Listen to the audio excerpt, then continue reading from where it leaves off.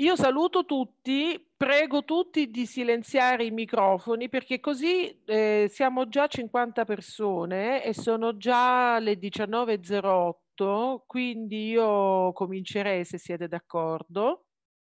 Okay. E io volevo ringraziare innanzitutto, io sono Daniela Gian, sono la presidente di Betty Lell, volevo ringraziare Betty Lell stessa per aver organizzato questo incontro eh, secondo me eh, necessario utile, necessario e bello. E volevo ringraziare Olek, consigliere con delega alla cultura, che ha pensato a questo ciclo di lezioni, ha ovviamente riscontrato subito il nostro entusiasmo, ma lui è quello che attivamente ha organizzato tutto, ha messo tutto insieme per poter organizzare una cosa che non è affatto facile.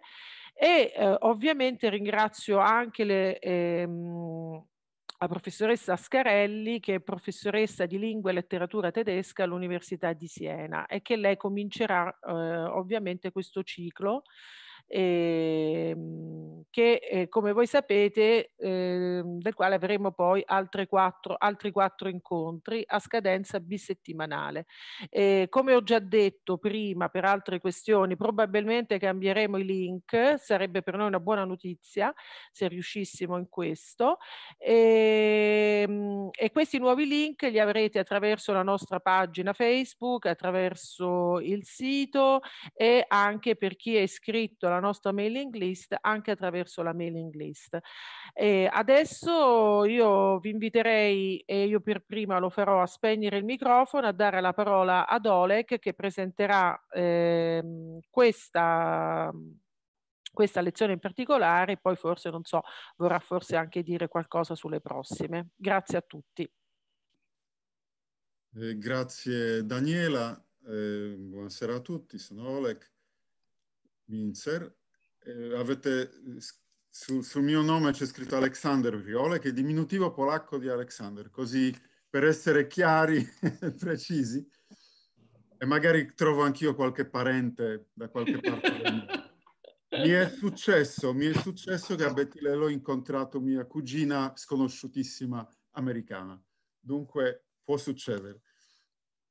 E allora, apriamo il nostro ciclo di conferenze sulla riforma ebraica tra passato e presente da Moses Mendelssohn ai giorni nostri.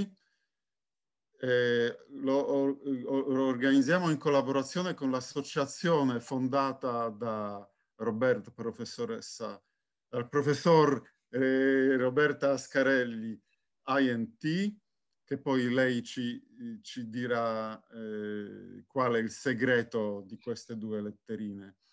Eh, fra due settimane avremo un incontro con il eh, professor Giuseppe Veltri che ci parlerà dell'ebraismo come scienza e teologia, Leopold Zunz e Abraham Geiger, un professore dell'Università di Amburgo. Il 18 febbraio eh, parleremo della riforma negli Stati Uniti eh, grazie a uno dei componenti di Betty Lell, David Levy, che è docente di filosofia a John Cabot University, eh, direttore della scuola ebraica Giorgio Cohen di Betty Lell.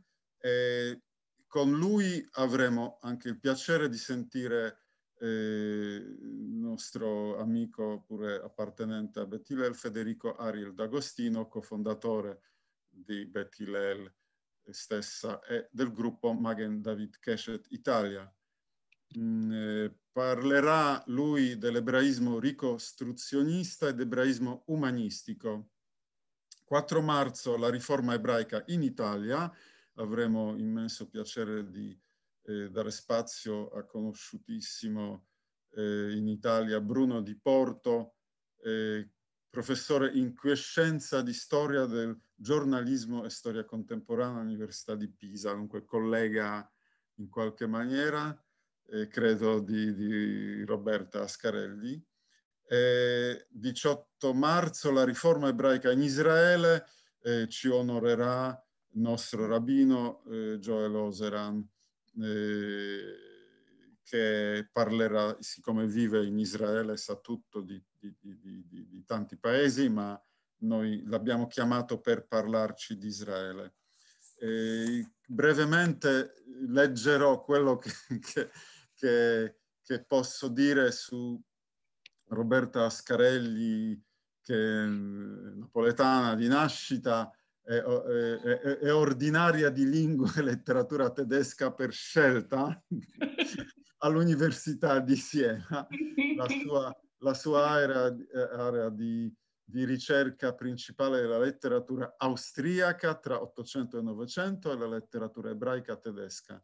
In quest'ambito ha scritto numerosi saggi su autori austriaci, eh, Van de Siècle, Roth, Zweig, Peru, Canetti, Buber, Hofmannsthal e Schnitzler. Ha insegnato giudaismo all'Università di Vienna e cultura yiddish all'Università di Roma, La Sapienza e di Siena, occupandosi soprattutto dell'autobiografia di area ebraico-tedesca da Glickel von Hameln a Freud. Insegna inoltre letteratura ebraica contemporanea nei corsi universitari dell'UCEI, che ci fa molto piacere. In questo campo ha pubblicato saggi su temi legati alla letteratura del sionismo, in particolare all'opera di Herzl. È stata responsabile di progetti nazionali di ricerca di, di area ebraico-tedesca, è stata presidente dell'Istituto Italiano di Studi Germanici, eh, è presidente dell'Associazione per gli Studi Ebraico-Tedeschi, è direttore responsabile della rivista DAF Werkstatt, fa parte dei comitati scientifici di cultura tedesca della rassegna messe di Israele e di austriaca. È stata Visiting Scholar University di Harvard e Visiting Professor alle di Toronto, Rochester, New York e Vienna. È membro dell'Accademia di Scienze Morali e Politiche Napoli. Fa parte del consiglio scientifico della Fondazione Primoli Roma. E più di questo posso dire che è una carissima amica e mi fa molto piacere di, di averla qua in apertura del nostro incontro. Parola a Roberta Ascarelli. Grazie infinite Oleg di avermi invitato, grazie delle parole di presentazione che tradotte in buon italiano vuol dire come sei vecchia, cioè hai fatto tante cose perché hai l'età giusta per averle fatte e grazie anche al Betty Lell ehm, che ehm, mi ha eh, invitato insieme a Oleg e che mi permette di incominciare questa serie eh, importante e interessante di, ehm, di conferenze. Io sono una storica della letteratura e quindi è chiaro che rispetto a Mendelssohn io ho un atteggiamento che è un atteggiamento di critico letterario, mi interessa molto la sua riflessione religiosa, ma mi interessa anche e soprattutto il suo pensiero rispetto ai salmi di David e al, ai libri di Mosè che ha tradotto. Ma cominciamo un attimo per ordine. Eh, quando Scholem parla della simbiosi ebraica tedesca, parla di un fenomeno che è incominciato eh, con un equivoco. Eh, I tedeschi, eh, gli ebrei, scusate, orientali, soprattutto polacchi, fin dal Settecento hanno scelto ehm, Berlino come luogo di riferimento parlo di Marcus Hertz, parlo del nostro Mendelssohn, eh, parlo di ehm, quel personaggio interessante e strampalato che è eh, Moses Maimon. Il, ehm, perché Berlino? Berlino semplicemente perché mentre eh, a Vienna si iniziava veramente un processo di, eh, dire, di sviluppo dei diritti o almeno di una cittadinanza, incominciato già con Maria Teresa e poi sviluppato da Giuseppe II con gli editti di tolleranza, eh, in, a Berlino invece abbiamo eh, un imperatore, Federico II Hohenzollern, Federico il Grande, un grande combattente, un grande amante della musica e della filosofia, però, come dire, piuttosto sordo rispetto eh, ai problemi eh, dei diritti al mondo, al mondo ebraico.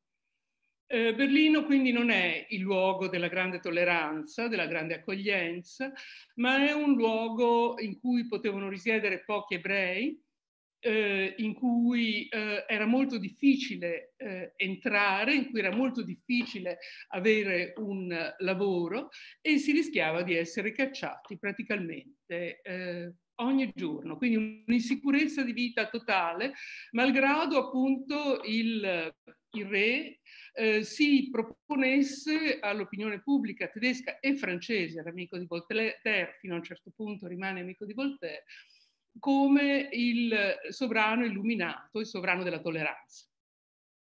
Se noi leggiamo il, um, il, il diario, l'autobiografia eh, di, Ma, di Maimon, vediamo che Berlino era un luogo mostruoso, nel senso che da Berlino viene cacciato, a Berlino c'è una polizia che ha come ehm, obiettivo principale quello di ehm, controllare, eh, controllare, gli ebrei, ehm, e però ci torna.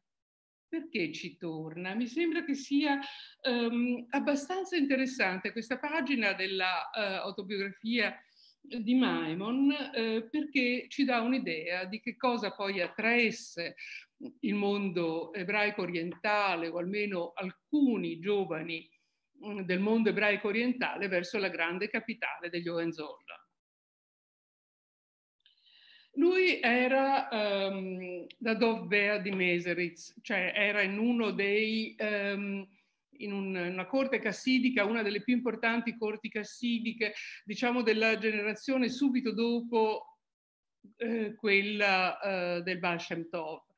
Eh, e scappa, scappa perché c'era eh, molta superstizione, eh, molto irrazionalismo e lui va a Berlino perché eh, questo fanatismo suscitò in me il desiderio di andare a Berlino e di annientare con la luce dello studio razionale quanto di superstizioso ancora mi rimaneva. Chiesi quindi congedo. Il Signore espresse il desiderio che rimanessi ancora in casa sua e mi assicurò protezione da ogni persecuzione. Quindi lui eh, va eh, a Berlino perché c'è questo mito del, dell'illuminismo tedesco che, eh, come dire, che si espande anche al di là eh, dei, dei, confini eh, della Prussia. Eh, il, ehm, Berlino quindi attira gli intellettuali ehm, ebrei non tanto per la vera tolleranza, non tanto per i diritti, non tanto per le leggi, quanto piuttosto perché viene presentato all'estero come in qualche modo la propagine dell'illuminismo francese. Il mondo in cui eh, è ancora possibile ragionare sulle cose e in cui rispetto, eh, come dire, alla tradizione secentesca si costruiva il mondo della ragione contro il mondo dell'oscurità.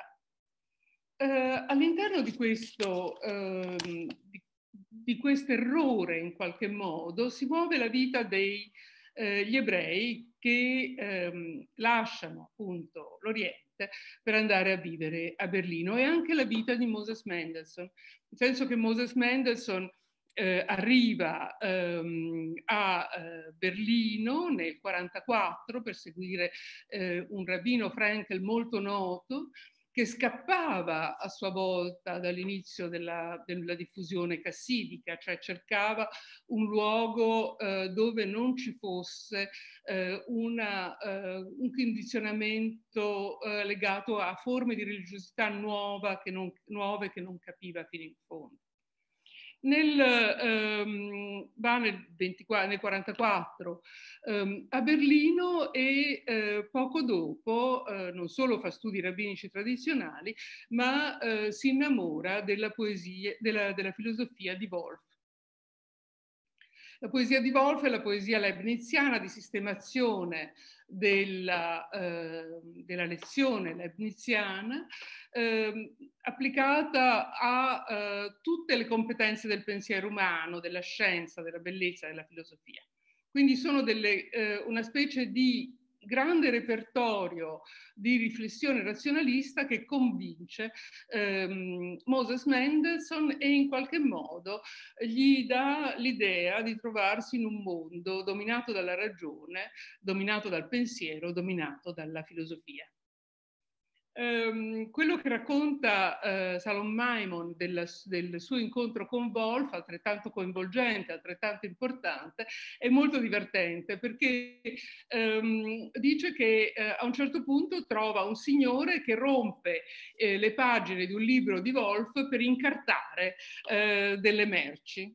E allora lui che aveva pochi libri decide di farsi dare questo, questo volume, sottrae eh, alla eh, lacerazione questo libro e incomincia a leggerlo in ore notturne, in ore improbabili, e anche lì è un'immensa, grande, sconfinata passione per questo pensiero così lontano dalla tradizione ebraica, ma ancora più lontano dalla tradizione cassidica quindi fuggono in realtà dal cassidismo. Um, fuggono verso il mondo che garantisce in qualche modo una forma di, eh, di modernità, di modernità di pensiero.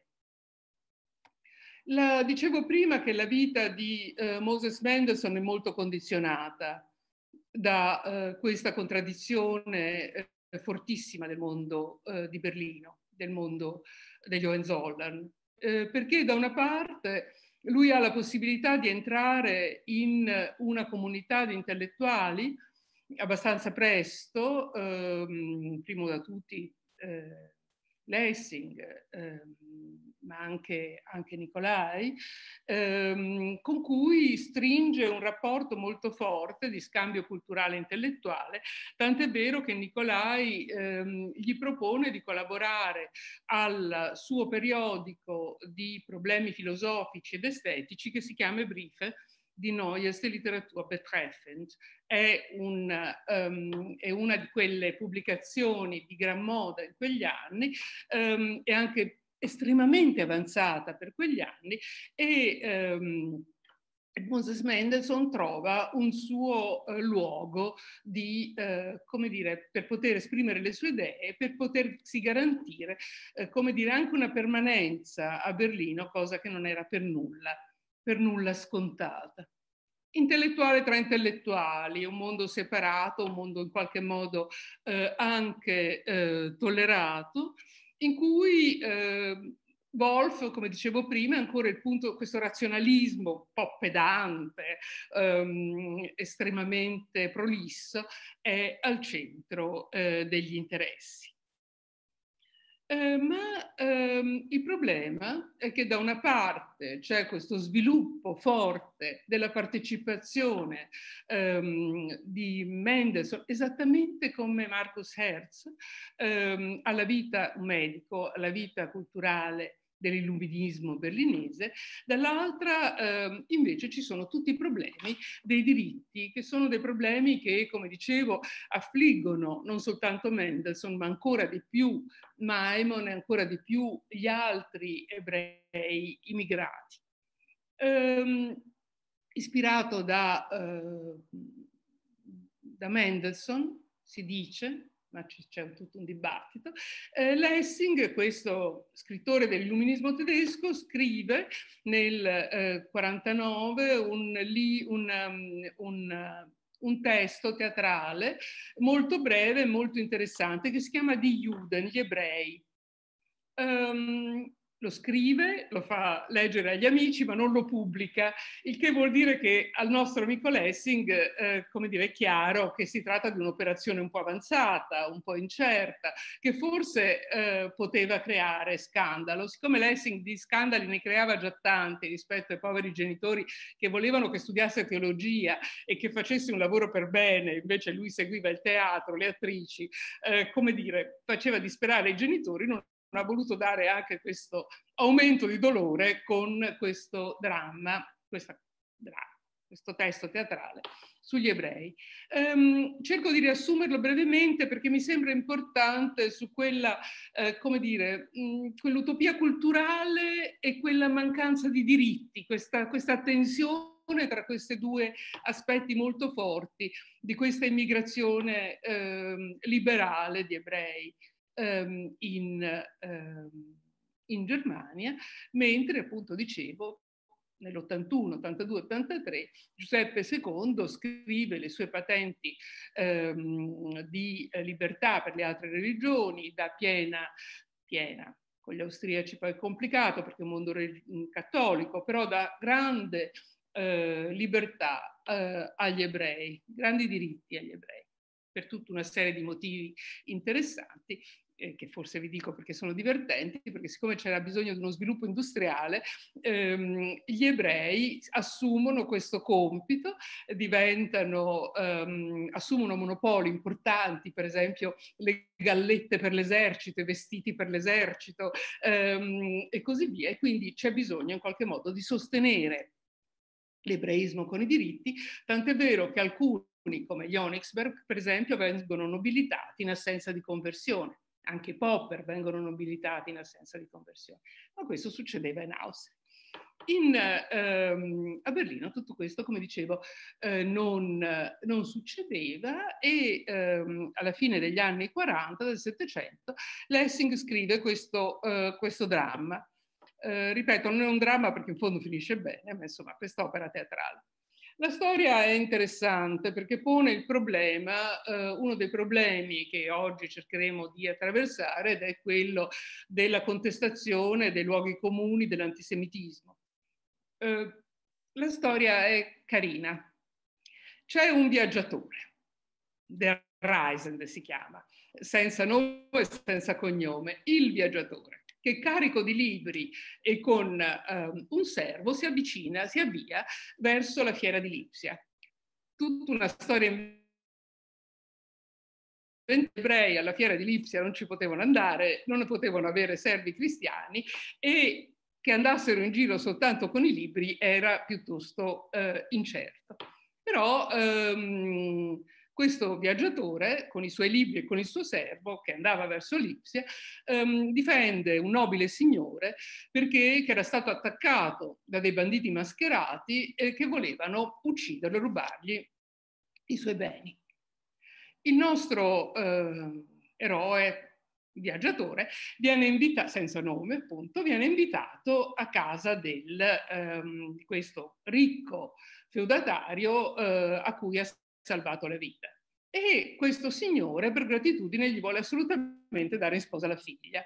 Il nostro viaggiatore non può prendere in sposa la figlia, ehm, però riesce a eh, smascherare i veri autori, che sono due servi, mentre tutti dicono che la colpa è ovviamente degli ebrei, perché chi è che per le strade aggredisce le carrozze dei signori per ucciderli e rubare loro i beni? Sono ovviamente gli ebrei.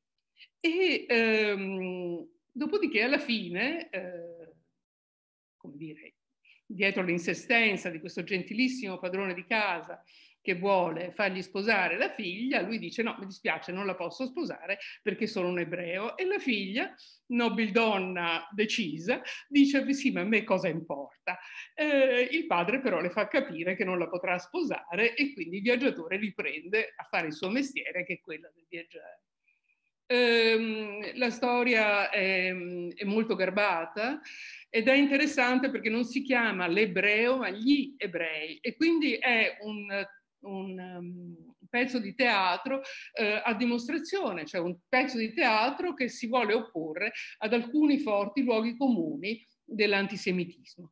Gli ebrei non sono quelli che attaccano i ricchi per strada, ehm, gli ebrei ehm, studiano, gli ebrei sono colti, gli ebrei viaggiano, ehm, gli ebrei sono cittadini, eh, come dire, che hanno un loro ruolo attraverso ehm, attraverso la Bildung. Come Rita sa bene, la Bildung è l'elemento fondamentale in quegli anni per eh, l'ingresso nella, ehm, nella, buona società ehm, eh, tedesca.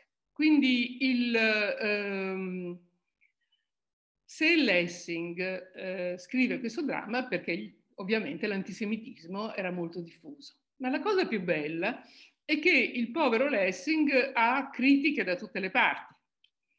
Da una parte gli dicono, beh, ah, gli ebrei così non esistono, non esistono ebrei ehm, così colti, così onesti, eh, così coraggiosi. E dall'altra parte il buon Mendelssohn, e qui si capisce già una sua prospettiva, ehm, afferma una cosa interessante, ma quello non è un ebreo. Eh, la, le osservazioni di, eh, di, Mendelssohn sono molto pertinenti perché ci portano ad un problema forte, eh, che è il problema eh, dell'assimilazione, delle forme dell'assimilazione. Non è possibile che ci considerino, ehm, come dire, degni di sposare la nobildonna e quindi di vivere come tutti gli altri, solo se non abbiamo atteggiamenti ebraici. Mendelssohn notava che mangiava con tutti, pregava in ginocchio, diceva il povero Lessing che non conosceva bene gli ebrei, ehm, e quindi diceva non è un ebreo reale, bisogna combattere per dare invece ehm, diritti, dignità agli ebrei veri, quelli che non mangiano con gli altri come per esempio Mendelssohn. Quindi il problema eh, dell'antisemitismo è eh, molto molto forte e ehm, fino a un certo punto ehm, Moses Mendelssohn riesce a sottrarsi a tutto questo, eh, assumendo un ruolo molto importante come appunto il Socrate dell'ebraismo, il filosofo eh, tedesco, l'illuminista di un regno illuminato e in qualche modo anche la foglia di fico di Federico che usa Mendelssohn per dire come lui è aperto, tollerante, ehm, moderno, eh, appunto, e illuminatissimo. Ehm, in realtà ehm, la situazione, ehm, anche se Moses Mendelssohn è estremamente riservato in tutte le questioni che riguardano la religione, cerca di prendere posizione meno possibile rispetto alla religione ebraica, nel 1769 ehm, accade eh, un fatto che, eh, come dire, che rende molto complicata la vita eh, di Moses Mendelssohn, che avrà una crisi anche Mm, di salute rispetto a questo e avrà un forte ripensamento sul suo ruolo rispetto all'ebraismo eh, e rispetto al mondo che, che, appunto, che questo ebraismo circonda, il mondo dei cristiani. Nel, ehm, dicevo, tra il 69 e il 70 ehm, eh, l'Afater, che tra l'altro viene ritratto insieme, da, in, un, in, un, bel quadro di Moritz Oppenheim insieme a... Eh, forse ve lo posso far vedere. No. Va bene. Ehm, in cui Mendelssohn è insieme a eh, Lafater e, ehm, e a Lessing, mentre la moglie porta del meraviglioso cioccolato e chi di voi ha sentito la cantata sul, sul cioccolato eh, di Bach sa com'era importante il cioccolato in quel momento, che razza di rappresentazione di stato sociale era il cioccolato in, in quegli anni. Um, il, um, um, L'Afater interviene in quella che eh, Pessina, uno studioso, definisce la religione discreta, di Moses Mendelssohn dicendogli ehm, all'interno di una lettera aperta legata alla traduzione di un libro francese di Bonnet, ehm, gli dice, gli chiede eh, di ehm, dire ehm, se le tesi sulla, ehm, sulla, primazia del cristianesimo teorizzate da Bonnet mh, mm, fossero vere o meno ehm, dicendo io spero che tu diventi cristiano. La cosa è molto complicata. La cosa è molto complicata intanto perché dice che il re è nudo, nel senso che dice che l'accettazione dell'ebreo è un'accettazione marginale, non, um, non completa, e dall'altra parte pone a Mendelssohn un problema fortissimo. Mendelssohn non aveva mai parlato di cristianesimo, parlava di religione naturale, non aveva mai difeso l'ebraismo e invece in questo momento è costretto a prendere posizione.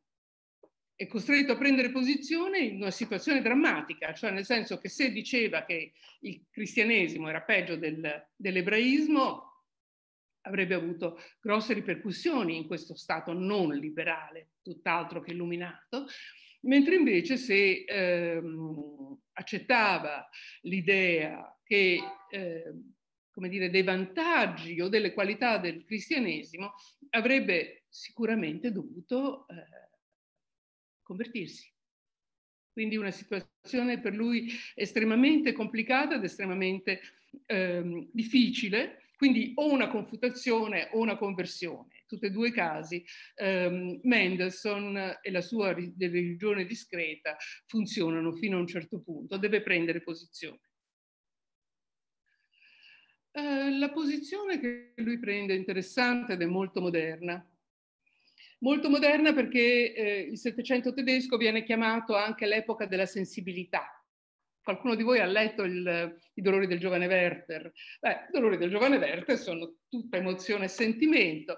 Ecco, senza arrivare fino al punto del giovane Werther, la sensibilità è contro il classicismo, contro le norme, contro la tradizione, è un grosso segnale di modernità.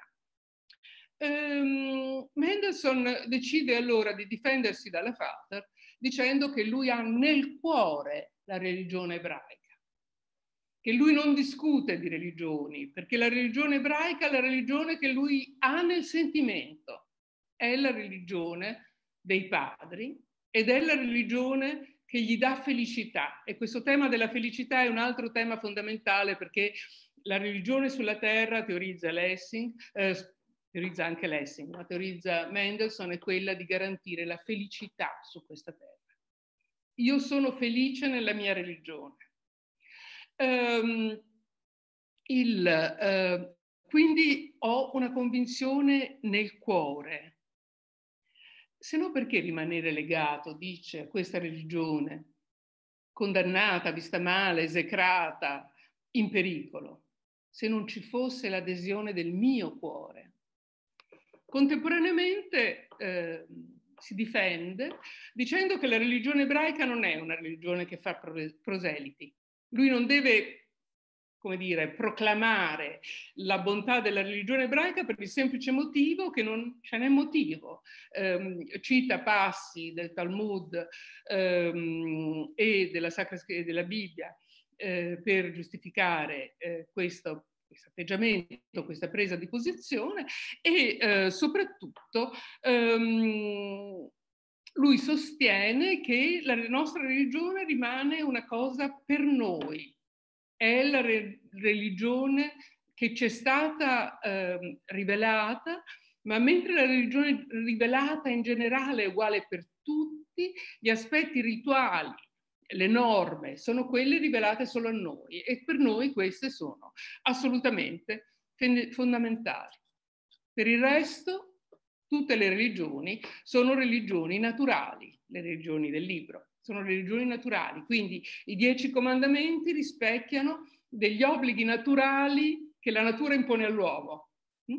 I dieci comandamenti, eh, come sottolineava Cohen, sono già scritti nel cuore, scriveva già eh, era già scritto nel libro di Mosè, ma lo ripete con, con grande forza, sono già scritti nel cuore dell'uomo perché sono nella natura umana. Quindi diceva, non so se mi sono spiegata, insomma, eh, l'idea di, di, Mendelssohn per scappare da, questo, da questa strada piuttosto difficile ehm, e con scarse uscite, quella ehm, di dire la religione è una religione del cuore, non è una religione in cui si fanno delle scelte, non devo spiegare niente a nessuno perché non voglio fare proseliti, o sono tutte le, le religioni del libro, sono religioni naturali, quindi che impongono all'uomo quello che è già scritto nel cuore dell'uomo e contemporaneamente però ehm, noi abbiamo delle regole, delle leggi che sono quelle che sono state date a noi e che noi ehm, rispettiamo. Quindi il, ehm, il, eh, a questo punto eh, direi che eh, propone eh, due piani, una religione universalistica per le tre confessioni monoteiste, soprattutto per cristianesimo ed ebraismo e invece una eh, religione privata.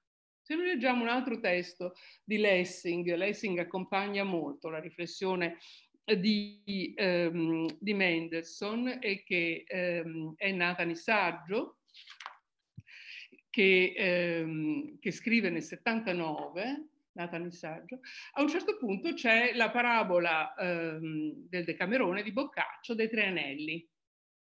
La situazione è complicatissima perché eh, ancora una volta abbiamo un ebreo che è le sette meraviglie, non c'ha un difetto neanche uno neanche a volere eh, ha solo un piccolo problema, che si è preso una bambina eh, che è cristiana, l'ha educata da ebrea, cosa che crea qualche scompiglio eh, in una Gerusalemme all'età delle crociate.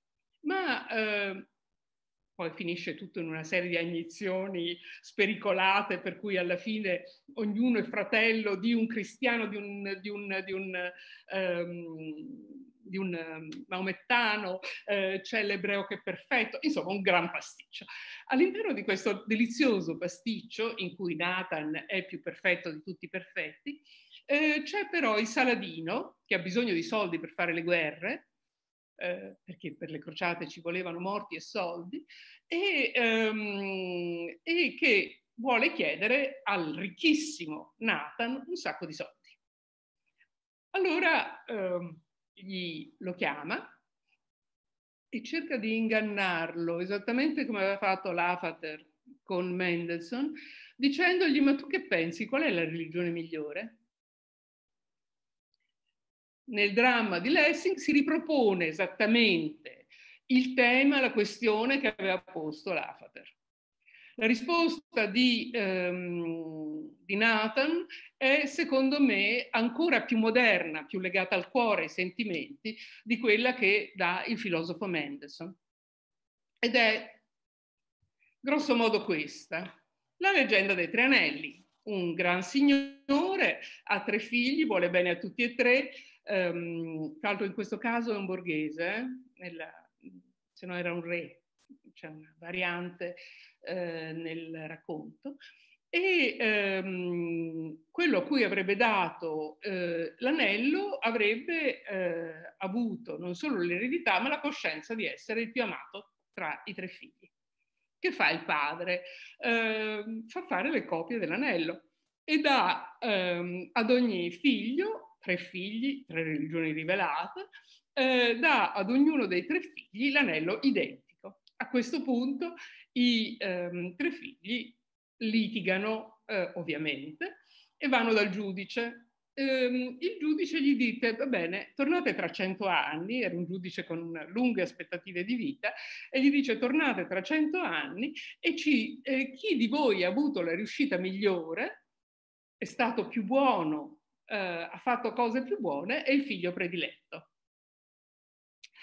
Uh, a questo punto il Saladino non può più rubare i soldi, non può più prendere i soldi a Nathan, però Nathan ha la possibilità di dire i tre anelli sono uguali, ma quello che mi ha dato mio padre per me è fondamentale. Quindi la catena delle generazioni si sostituisce a quel discorso del cuore molto estetizzante che aveva fatto Mendelssohn rimango ebreo perché questo mi hanno insegnato, perché io preferisco, lo dice chiaramente, quello che mi ha insegnato mio padre piuttosto che quello che ha insegnato a te tuo padre. In questo modo il problema della primazia viene in qualche modo meno. Ma ehm, tra l'altro c'è un altro problemino, nel senso che nell'81 muore Lessing e Nicolai ehm, attacca Lessing perché era spinozista. Essere spinozisti voleva dire, ehm, come dire, essere eh, abbastanza tendenti all'ateismo, quindi essere cristiani così, eh, ma in realtà essere legati alla religione appunto della natura, eh, alla religione, panteismo religioso di Spinoza cosa che allora andava molto male perché si andava in galera diretti e, um, e quindi questa accusa in qualche modo accarezza, tocca anche il nostro Mendelssohn che è un po' spinozista, si è scoperto dopo, in realtà lo era. Ehm, quindi il, ehm, tutto questo porta ehm, a dei problemi a Lessing, um, a Mendelssohn molto forti, ha una crisi eh, personale. E alla fine capisce che questa dimensione di, come dire, eh, di ambiguità, questa religione discreta, questo stare sul confine, eh, non può andare bene. Non può andare bene perché in qualche modo per un ebreo in un mondo come quello era necessario avere uno strumentario più forte. Lo strumentario che propone Lessing, eh, scusatemi, continuo a, a, confondermi, lo strumentario che propone eh, Mendelssohn è uno strumentario legato alla Bildung. Una Bildung dalle due parti. Da una parte ehm, un libro che appunto Rita ha molto citato, il libro di Dom, eh, di Bürgerliche Verbesserung der Juden, da una parte eh, un, un, libro scritto da un funzionario prussiano sotto indicazione di Mendelssohn che dice che gli ebrei devono studiare, devono vestirsi bene, devono comportarsi come tedeschi, parlare come tedeschi, cioè l'idea di una formazione borghese degli ebrei che garantiva agli altri di non considerarli diversi, quindi una specie di, mh, mm, come dire, di via verso l'assimilazione eh, che eh, lo Stato prussiano a questo punto eh, sembra accogliere. Eh, ma dall'altra parte, ehm, ma questo non basta. Però ehm, in questi anni, eh, come dire, di disagio, lui propone due progetti, che sono due progetti per me importanti perché ehm, sono quelli più legati alla letteratura. E sono la traduzione ehm, dei libri di Mosè in tedesco ehm, e la traduzione dei salmi di David.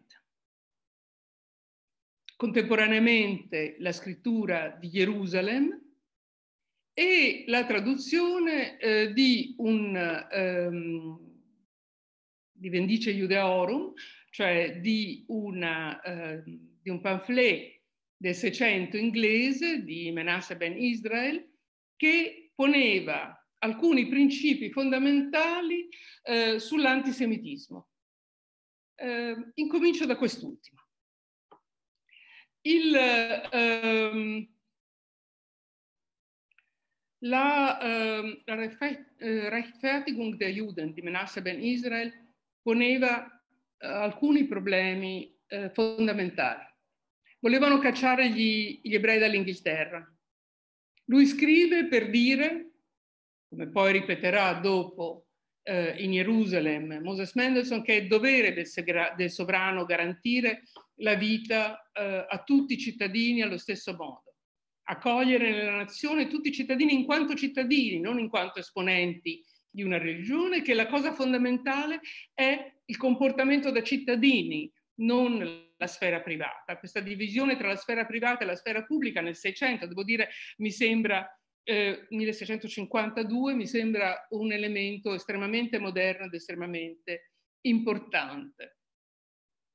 Ma quindi non si tratta di una grazia, ma si tratta di un dovere del sovrano e il cittadino viene valutato, ripeto, non per la sua religione che è cosa privata, ma per il rispetto delle leggi. Ma questa è solo una parte del Vindice Giudeorum di, ehm, di Ben Israel.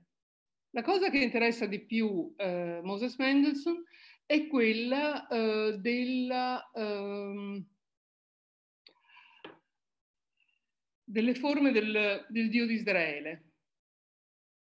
Si dice, è una volgata abbastanza diffusa, che è il Dio eh, che non conosce ehm, grazia ma solo vendetta, è il Dio severo, la religione è una religione severa, la religione è una religione che non garantisce la famosa felicità di cui parlava Moses Mendelssohn. Rispetto a questo, Menasse Ben Israel dice che invece la religione ebraica è la religione eh, della misericordia, è la, miseri- è la religione della dell'affetto, dell'accoglienza, di quel cuore in cui Moses Mendelssohn aveva collocato la sua fedeltà al mondo ebraico. È importante. È importante perché che eh, Moses Mendelssohn traduca eh, questo saggio vuol dire che lui pone non soltanto il problema della tolleranza, ma anche il problema della riscrittura del, del giudizio e del pregiudizio sul mondo ebraico. Il mondo ebraico non è il mondo della barbarie rispetto al mondo moderno, non è il mondo della severità contro l'amore, non è il mondo della preclusione al cuore contro il cuore ed è un tema importantissimo in quegli anni, perché in quel modo lui porta una perequazione su uno dei temi cardine del cristianesimo e anche delle critiche che i cristiani fanno nei confronti ehm, degli ebrei. Quindi eh, il mondo ebraico è un mondo di giustizia, ma è un mondo di, eh, di sentimento, eh? di affetti, di bontà, di gioia. La traduzione di um, Moses Mendelssohn, um, devo dire, crea un grande, uh, una grande polemica. Chi non ci voleva credere non ci vuole credere. Uh, fatto sta che lui subito dopo fa questa doppia traduzione.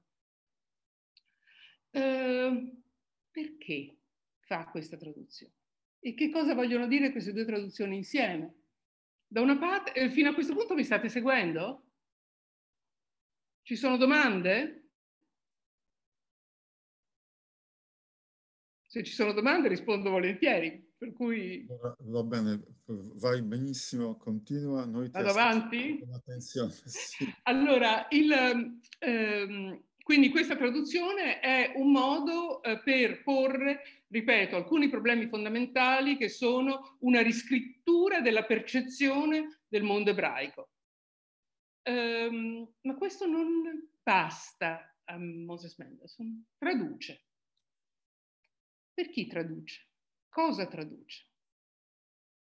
L'operazione della traduzione della Bibbia è un'operazione vecchia, in Yiddish ci sono mh, fin dal Cinquecento moltissime traduzioni in Yiddish della Bibbia, quindi no, tradurre la Bibbia per chi non conosce più l'ebraico, per cui non conosce, non può più leggere i testi, è un'operazione fondamentale di pedagogia, un'educazione, di educazione eh, soprattutto delle donne e dei fanciulli.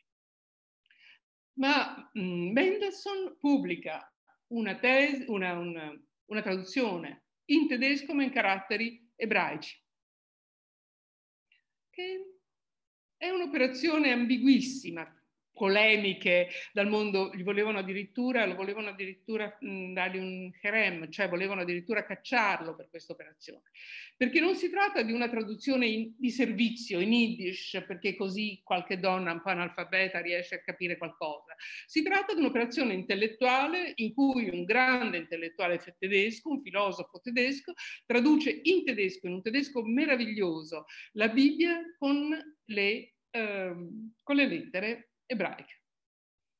Che cosa vuol dire? Eh, vuol dire che lo scrive per gli ebrei, ma soprattutto lo scrive, no, lo scrive soprattutto per gli ebrei, ma lo scrive anche per i molti traduttori della Bibbia, perché nella seconda metà del Settecento tradurre la Bibbia era diventata una specie di operazione corrente. Um, ci sono moltissime traduzioni della Bibbia, anche molto belle come quella di Kramer, di cristiani, in genere protestanti, che da, cambiando Lutero, modificando Lutero, eh, aggiornano la traduzione luterana della Bibbia.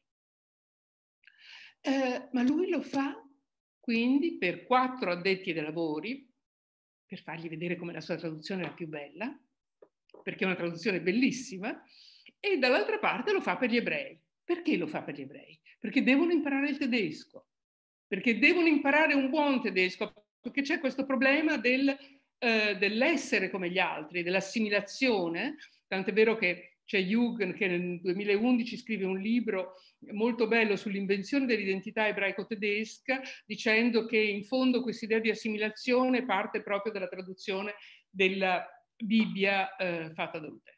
L'idea, il messaggio è molto forte, molto netto. Eh, voi dovete essere fieri della vostra tradizione, salvaguardare la sacralità e l'importanza delle vostre lettere.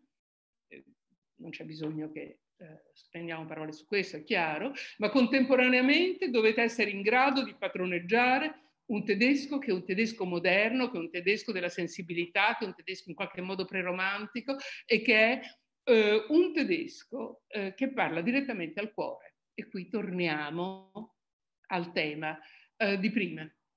Quindi questa è la prima operazione molto forte ed è l'operazione di Dom, appunto, l'operazione di fare in modo che gli ebrei entrino nella cultura tedesca.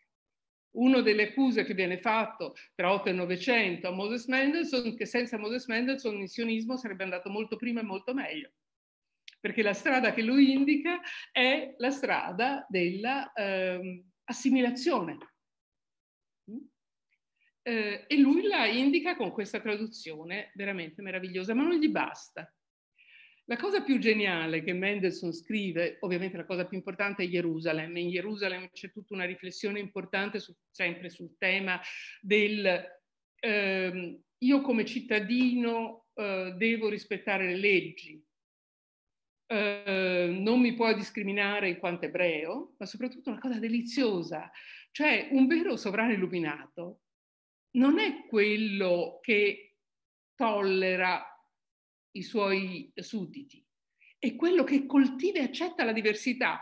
Il tema della diversità in Gerusalemme è fondamentale ed è un tema talmente moderno che è quasi commovente. Gli ebrei sono diversi, il sovrano si deve fare carico, proteggere, difendere e in qualche modo, come dire, accentuare il valore di questa diversità. Un po' moderno, forse eh, il, il, re di Prussia non era in grado di capire, ma la, la, la riflessione era estremamente avanzata, estremamente importanti.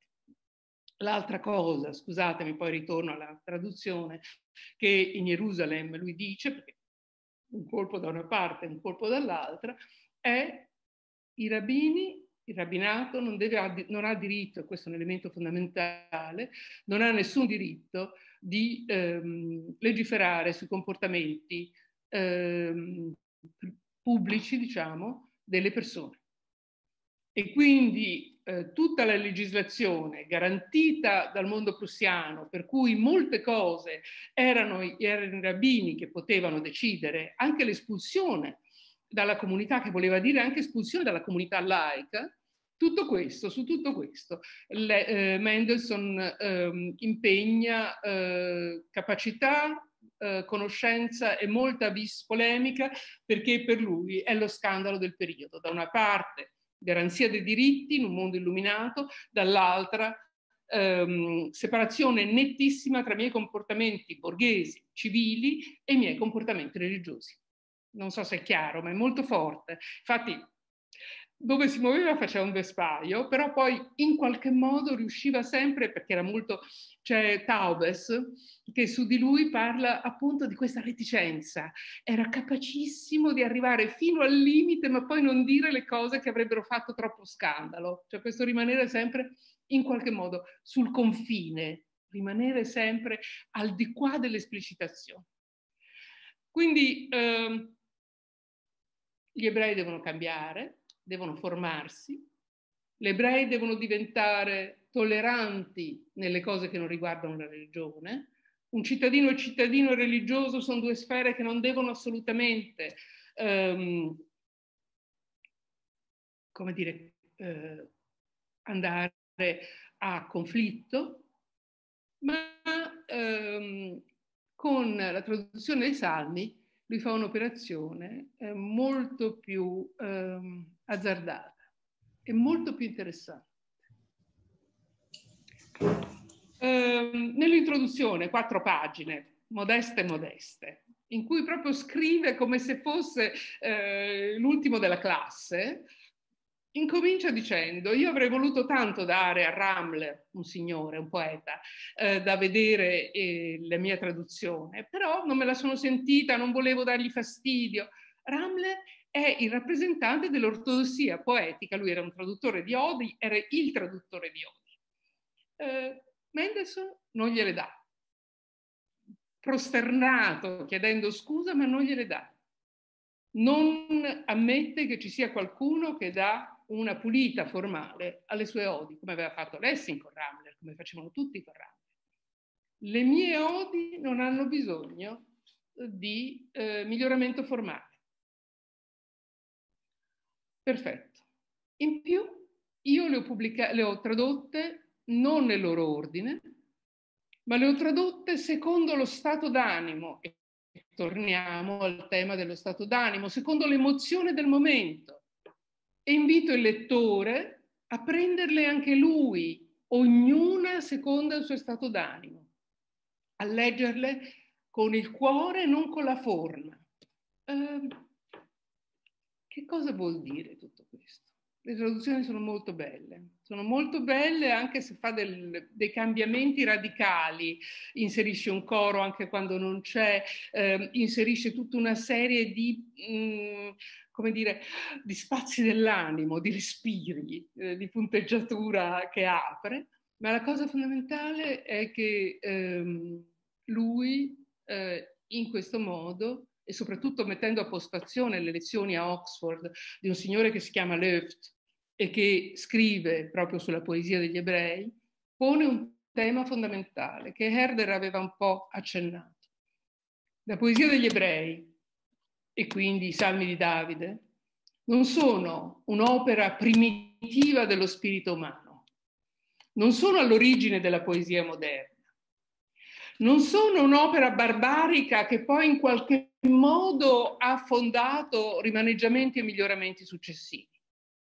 La poesia, la vera poesia, quella che ha l'entusiasmo, quella ispirata da Dio, quella che parla all'animo, eh, la poesia eterna, la poesia che non ha bisogno di forma, non ha bisogno di metri, anche se lì c'è tutta una riflessione sui metri ebraici che vi risparmio, anche perché è difficilissima da capire, anche per chi ci ha lavorato per molti anni.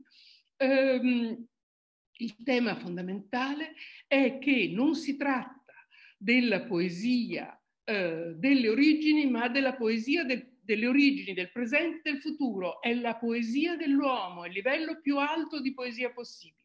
Quindi se da una parte lui dice ai suoi correligionari ebrei, guardate ragazzi miei, dovete imparare il tedesco, guardate ragazzi miei, dovete cercare di raffinare il vostro modo di rapportarvi con la grande cultura, appunto, Kant, Wolf, Leibniz, um, Shaftesbury, cioè la grande cultura del tempo. Dall'altra parte, però, avete dentro di voi una potenzialità che, di cui non vi rendete neanche conto. La poesia degli ebrei è la poesia eterna dell'uomo. Nei termini eh, di, ehm, del conflitto con, ehm, con l'Afater, che è il punto fondamentale di questa sua riflessione e della riflessione di tutti gli anni metà 70-80, è un approdo fondamentale. Un approdo fondamentale perché eh, Lessing, eh, perché Mendelssohn ehm, non si limita, come fa nelle, dire, nelle, nelle dichiarazioni ufficiali a nascondersi, a dissimulare, a cercare strade di compromesso perché non venga fuori eh, né il suo spinozismo e neanche la difesa dell'ebraismo contro il cattolicesimo, ma è qualcosa di molto di più. A livello di poesia c'è una fierezza dell'essere ebreo c'è una consapevolezza dell'importanza dell'essere ebreo che passa attraverso la poesia, anche perché, ritorno ai miei dolori del giovane Werther, che potrebbero forse aiutarci a capire tante cose, in quel periodo, ehm, rispetto alle norme, eh, alle regole formali, rispetto al Gottsched, rispetto proprio al, ad un mondo che si costruiva sulle regole francesi con ritardo, se vogliamo, eh, c'è un nuovo mondo importato dall'Inghilterra che sta arrivando e che impone un nuovo tipo di poesia che non è la poesia della forma, non è la poesia delle regole, non è la, la poesia del ben costruito e soprattutto del regale, ma è la poesia dell'animo umano. Allora l'operazione di, ehm, di Mendelssohn si innesta da protagonista in qualche modo da vincitore all'interno della distruzione eh, della, eh, della, tradiz- della tradizione classica, delle forme. Rispetto alle forme noi mettiamo il cuore. Quindi se la religione ebraica è una religione naturale, se la religione ebraica è la religione dei miei, che io non devo difendere, perché è lo Stato che deve difendere la mia possibilità di esserlo, se gli ebrei devono entrare da protagonisti nella vita tedesca, conoscendo fino in fondo, assimilandosi fino in fondo il mondo germanico, contemporaneamente dobbiamo, in quanto ebrei, acquisire eh, una coscienza di noi che nasce dalla idealizzazione della nostra tradizione, che non è la tradizione delle regole, che non è la tradizione, eh, come dire, dei, dei precetti, ma è questa grande capacità di vivere a contatto con un altissimo che non è l'altissimo, e qui si riconnette ehm, a Menasse Ben Israel, non è l'altissimo della punizione, del rigore, ma è l'altissimo che fa cantare David, è l'altissimo che crea poesie. E quindi su questo eh, si costruisce una idea di un rapporto tra mondo ebraico e mondo eh, tedesco ingannevole, almeno quanto la figura di Federico II Hohenzollern, che però ehm, si pone su due piani, anzi su tre piani. Primo piano, la emancipazione del mondo ebraico eh, non dalla tradizione religiosa delle regole, ma da un potere eccessivo, secondo Mendelssohn, che ha il rabbinato sulla vita civile delle persone. Eh, sulla vita civile vuol dire tutto quello che sono eh, contratti, tutto quello che sono eh, giudizi, tutto quello che sono esclusioni. Dall'altra parte una cittadinanza tedesca che nasce sulla Bildung, sulla, mm, sulla bürgerliche Verbesserung, sul miglioramento borghese degli ebrei, ma anche con, sulla consapevolezza di non essere, eh, come dire, dei cittadini di seconda classe, ma di avere molto da dare eh, allo Stato, al re e soprattutto alla poesia tedesca. Io avrei finito. Se ci sono domande sono molto contenta. Grazie, grazie infinite Roberta. Abbiamo imparato che c'erano due, Mendelssohn e Lessing, e non bisogna confonderli. Comunque, no, no, ti perdoniamo assolutamente. Intanto, intanto mi fa piacere che hai parlato anche tanto di Lessing, che è base anche della storia del teatro, non solo di storia ebraica. E, e questo che, che, che, intanto ti ho chiesto di, di prima di, di, di, spiegare meglio eh, qual è lo scopo e come nasce la, la, la, la tua associazione che è, come dicevo, co, coorganizzatore di, di, di, questi eventi. Senti, guarda grazie infinite, la prima, è la prima occasione in cui ci presentiamo. Abbiamo fondato un'associazione di studi ebraico-tedeschi, siamo in tanti che ci occupiamo di mondo ebraico-tedesco e ci sembrava che avere un'organizzazione per incontrarci, discutere, vedere quali sono ehm, gli argomenti eh, che oggi possono essere eh, più significativi e più importanti, eh, poteva essere una, una buona cosa, siccome Mendelssohn in fondo è ebreo e di adozione, ma convintamente eh, tedesco, ci sembrava che potesse essere un buon, eh, un buon inizio. Quindi grazie infinite Oleg di averci dato questo, come dire, questa, questo, questo bel inizio, questo, questa, questa bella eh, celebrazione. Mi fa molto piacere, guardando la sigla, queste due lettere, INT, mi viene in mente che forse dentro dentro c'è proprio Mendelssohn che scrive in ebraico. La, la Bibbia, la traduzione in tedesco esatto, Esatto, cioè scrive in tedesco con i caratteri ebraici.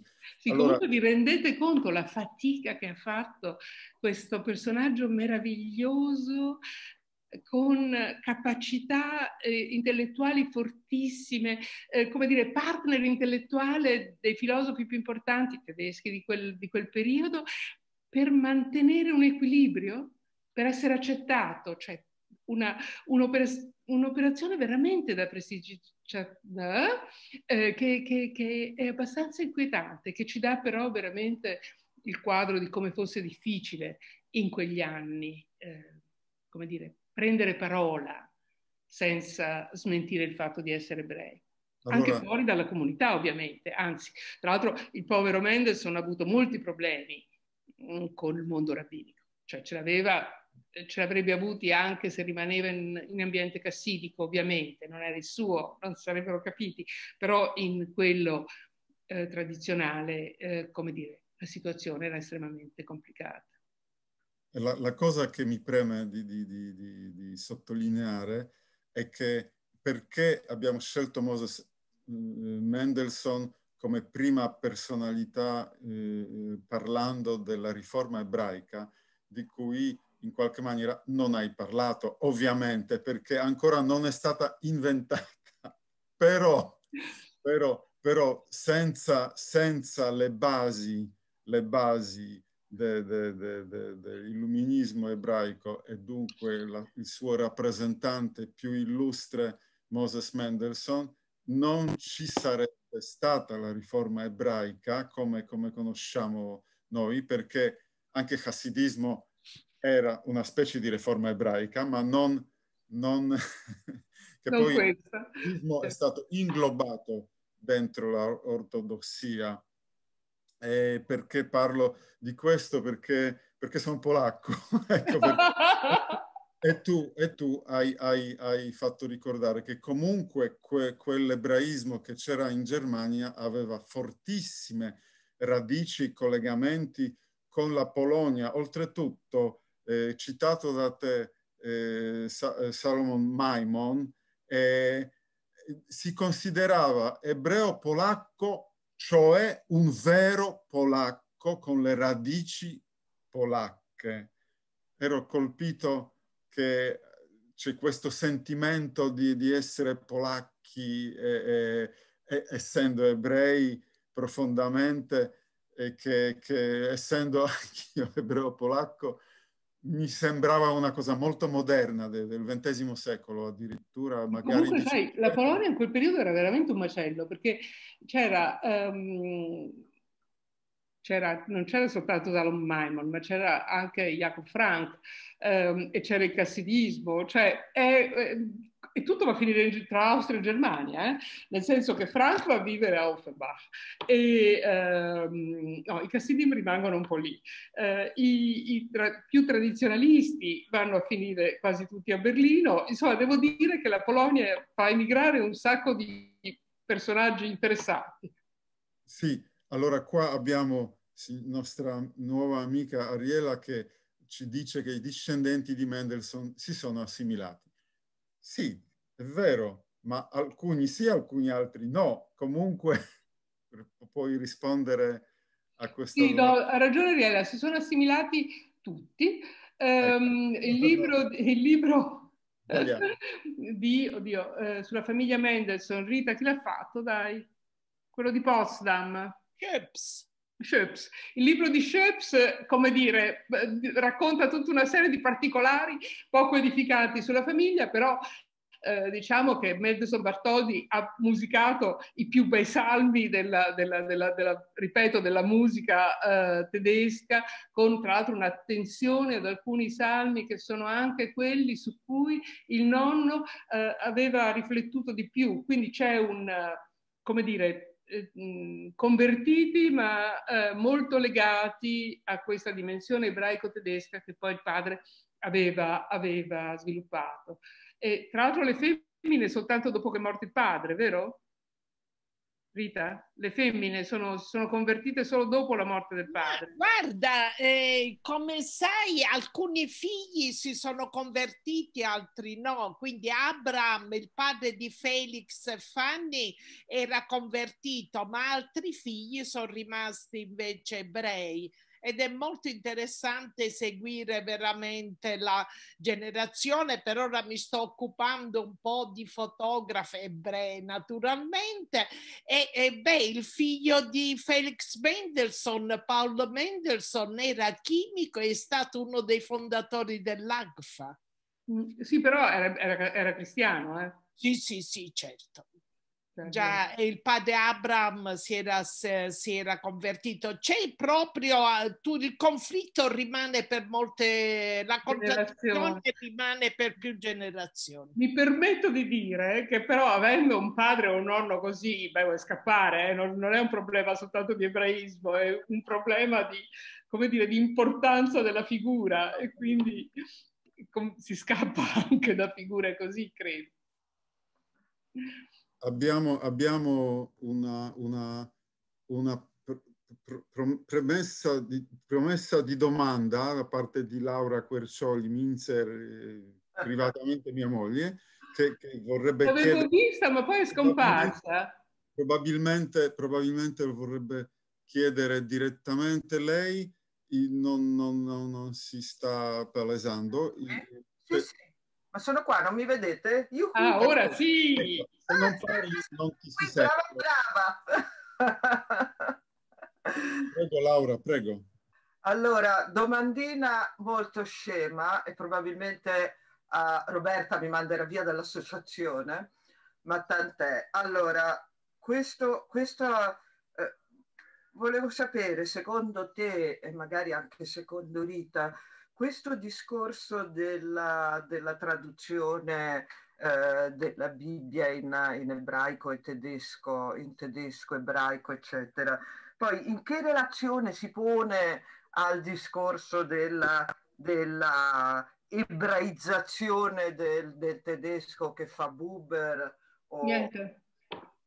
No, non c'è, eh, secondo me Laura, il, il, il percorso, il processo è molto diverso, okay. nel senso che in qualche modo eh, Buber vuole ritornare a quel punto, cioè vuole ripartire da quel punto. La traduzione eh, che voleva fare con Rosenzweig, che poi appunto eh, sai come va, eh, è una traduzione, ehm, come dire, che non presenta elementi eh, ebraici, anzi come tra l'altro De Villa ha meravigliosamente dimostrato, ci sono tutte le parole della destra romantica della destra nazionalista, quindi come dire, è, un, è tedesca proprio, non voglio dire da Bluton Boden, ma, ma, quasi, cioè le parole che usa sono le parole di Goeres e, e quindi questo non c'entra niente con l'operazione che invece fa Moses Mendelssohn, che è un'operazione, come dicevo prima, del cuore, cioè una, un'operazione dell'Empfindsamkeit.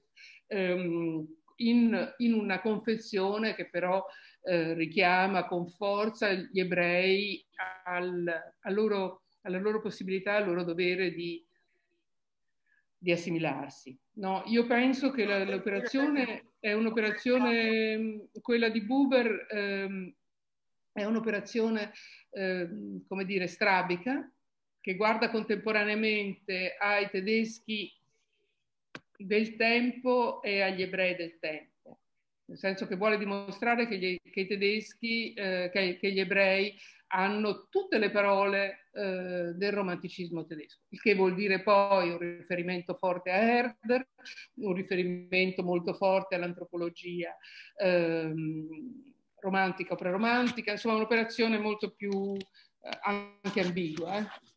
Beh, difatti ho letto anch'io l'articolo di De Villa e, e pensavo più alle, alle cose, alla, alla, alla, sua traduzione, interpretazione, germanizzazione dei racconti dei Chassidim. Ah beh, quello è tutto un altro discorso, Laura. Sì, a quello, quello è tutto un altro discorso. Non, non alla Bibbia. No, ma quello tra l'altro è una cosa che arriva, come sai benissimo, arriva prima, in un momento diverso della riflessione di Buber, ehm, arriva quando Mm, come dire, questa dimensione romantica, romanticheggiante, guerresiana di destra, eh, la applica ad un mondo che è guerresiano di destra e quindi la traduzione è splendida.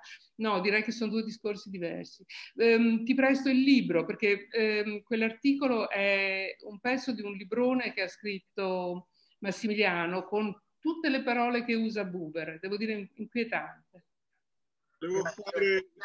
E peraltro, scusa... Eh... Scusate, scusate, scusi Laura, scusa, scusami Laura, un attimo che c'è un signore che, che voleva... Devo fare due eh... domande. Sono Sandro da Firenze. Ciao Roberta, ci siamo visti a Camaldoli. Non so se sì. Due domande. Eh, Leibniz è stato criticato moltissimo da, da Voltaire e, e, da tutti. quali sono i rapporti fra Mendelssohn e la filosofia di Leibniz? Dunque, allora, lui ehm, non è un leibniziano, lui si definisce un wolfiano, il che vuol dire che ehm, Wolf fa una sistemazione di tipo come dire, in cui tutti gli aspetti eh, radicali della filosofia di Leibniz eh, vengono sedati. Quindi è un'idea che attraverso delle strutture razionali si può capire il mondo, si può capire l'uomo, si può capire eh, soprattutto questo destino di felicità, che è la cosa che lui in qualche modo prende da questa rielaborazione wolfiana di Leibniz. Um, dopodiché però, come dire, che ci troviamo in un mondo perfetto, eh? che ci troviamo in un mondo, eh, come dire, mh, ben costruito, perfettamente costruito, in, un, in una, come dire, una volontà divina eh, di, ehm, di equilibrio tra le parti. Questo Mendelssohn lo dice continuamente. Cioè lui è convinto che la creazione sia un'operazione, ehm, come dire, sistemata e perfetta. Ecco non arriva a dire che è il più grande matematico, però sicuramente è il più grande filosofo, il, l'altissimo. E la seconda domanda che riguarda un po' la famiglia Mendelssohn, perché mi sembra che già Abraham si trasferisce a Hamburgo. Come mai si sono trasferiti a Hamburgo? Perché Hamburgo era più tollerante, era più aperta? Dunque, allora, sicura, allora, dunque, eh, la, eh, Hamburgo, ma in genere eh, tutta la parte di Altona, tutta la parte in, in, di confine con la Danimarca, che poi è anche parte, eh, come dire, contesa, una volta sta da una parte, una volta sta dall'altra, era estremamente tollerante, aveva una tradizione ehm, di grande eh, apertura e di non discriminazione. Amburgo è anche eh, un, un, luogo strano di rabbinato perché da una parte mh, sono due rabbini d'Amburgo eh, che eh, decidono eh, che i cristiani non hanno molti dei ma come dire che possono essere considerati monoteisti. E sono i rabbini di Amburgo che creano tutti i problemi sulle, ehm, come dire, su, su, su, sugli amuleti, quindi con tutta una serie di critiche, di problemi, Eibenschutz e Emden, cioè è anche un centro, ehm, come dire, estremamente vivace di vita ebraica, ma la, la, la tolleranza è, basta leggere ehm, sempre Rita, eh, le memorie di Glücker von Hameln, ehm, con tutti i problemi che c'erano dalla fine del Seicento, viene considerato rispetto ad altri luoghi veramente un piccolo paradiso, cioè un luogo di di crescita sociale, di tolleranza, nei limiti del possibile ovviamente. Eh? Eh, grazie. Vedo qua eh, ancora due, due eh, domande rispetto alla famiglia di, di Mendelssohn. C'è eh, Elisabetta Ziviak Elżbieta che, che eh, dice che si, si, trattava di una specie di sincretismo cristiano-ebraico. Questo lo dicono, che ci fosse una sorta di marranesimo, lo dicono, lo dicono, lo dicono in molti. Non Ma no, so. è diverso, scusa se posso. Marranesimo quando si ritorna alle radici ebraiche antiche o, o si continua la tradizione, qua no, qua il figlio che crea una specie di... Non, non, è tutto palese, credo. Non, non è, no, no, ma quello che volevo dire, un ebraismo mh, intimo, okay, ehm, okay. questa era un po' l'idea, cioè nel senso che un ebraismo personale e intimo. Eh... Ah, in questo senso maranesimo, ok? Sì, sì, sì, sì. Okay. Cioè non, non, che non fa parte, come dire, dei, dei, comportamenti, dei comportamenti quotidiani. Questo è molto possibile. Allora, eh, sì, per, per, rispondere ancora su, su, che cos'è la riforma, la, la, la risposta del signor Ventura mi fa venire in mente che eh, come, come, funzionava ebraismo ortodosso italiano, eh, più o meno come ha definito che cos'è la riforma. Adesso è la situazione diversa, ma qualche decennio fa sicuramente era proprio così, mi sembra, mi, sem mi è stato raccontato così, conciliazione di, di, questi due elementi. Eh, allora, eh, se non ci sono altre domande, io con, propenderei per, per, la conclusione, eh, per, per, ringraziamenti a tutti, a, a, a Roberta Ascarelli e l'associazione AINT. Grazie. Eh, eh, eh, prima di tutto anche di, di, di Betty Lell che, che una, è, una, è, una, piccola comunità ma organizzata uh, bene che, che, che senza questo, questo, lavoro collettivo non saremmo riusciti sicuramente a, a, a incontrarci qua. Eh, allora, eh, se, Bravo, se Daniela, Daniela, Daniela, se vuole dire qualcosa o, o... Oleg, io non ho niente da aggiungere a quello che dici tu, oltre che ringraziarvi, è stata una lezione molto molto interessante e la professoressa ci ha preparato il terreno ovviamente per la prossima lezione eh, ci sarebbe veramente da fare tantissime altre domande, ma insomma eh, penso che sono le otto e mezza, abbiamo tutti famiglia, abbiamo tutti fame. Quindi magari ci facciamo solo promettere dalla professoressa Scarelli che magari in un'altra occasione, eh, magari di persona nei prossimi mesi, chissà, con un pochino di fortuna, può venire a rispondere a tutte le domande che sono rimaste senza risposta. Ecco, io ne ho sacrificate quattro. Ah. No, no, per carità, no, volevo dare la precedenza agli altri, ma io sono sicura che avremo modo di rivederci e di, eh, e di parlare di queste e di altre domande. Ringrazio tantissimo lei, Ole, che poi davvero tutta la comunità che ci sostiene in queste pazzie, per, insomma, nell'organizzazione di queste cose. Quindi saluto calorosamente tutti e mm, veramente Kazak, ecco una cosa non da assimilati, la volevo dire. Arrivederci allora. Grazie, grazie a tutti. Grazie, grazie a tutti.